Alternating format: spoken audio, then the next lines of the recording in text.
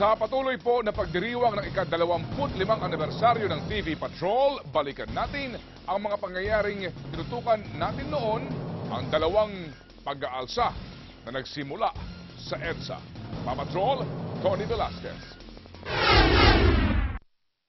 Walang kaibigan, walang kumpare, walang kamag-anak o anak na maaaring magsamantala ngayon. Huwag niyo kong subukan. Ito ang binitiwang pangako noon ni Joseph Ejercito Estrada laban sa korupsyon nang manumpa siya bilang ikalabintatlong Pangulo ng Pilipinas. Pero dalawang taon pa lamang sa kanyang panunungkulan, parang bombang sumabog ang mga ibinunyag ng matalik na kaibigan ng Pangulo na si Ilocos Sur Governor Chavit Singson. 123 million. Sa eksklusibong panayam sa TV Patrol, kinumpirma niyang kumukubra si Estrada ng milyon-milyon sa weteng kada buwan. Bukod pa sa 170 million pesos mula sa tobacco excise tax. Nobyembre at 13, na-impeach ng Kamara si Ginoong Estrada.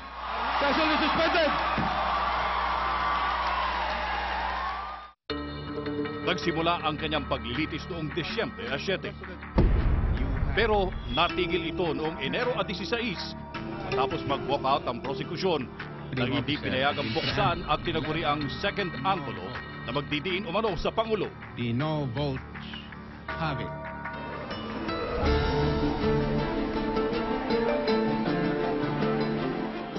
Nang gabi ring iyon, nagtipon at nagprotesta ang mga kontra-erap sa EDSA Shrine at inilunsad ang EDSA DOS. Lahat pinagbibitiw si Estrada sa pwesto. Nag-atras rin ng suporta ang pulisya at militar. We are withdrawing support from the Government President. Enero 20, nanumpa bilang Pangulo si Vice President Gloria Arroyo.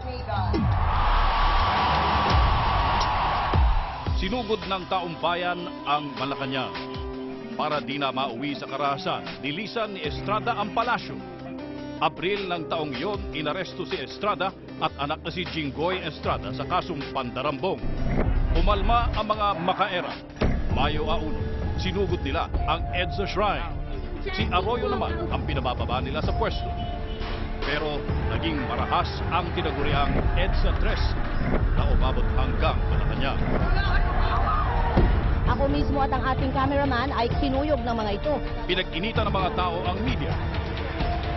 Pinusirya ang mga news team at sasakyan ng TV Patrol. Pero hindi nagpatinag ang news team. Tuloy lang ang paghatid ng balita.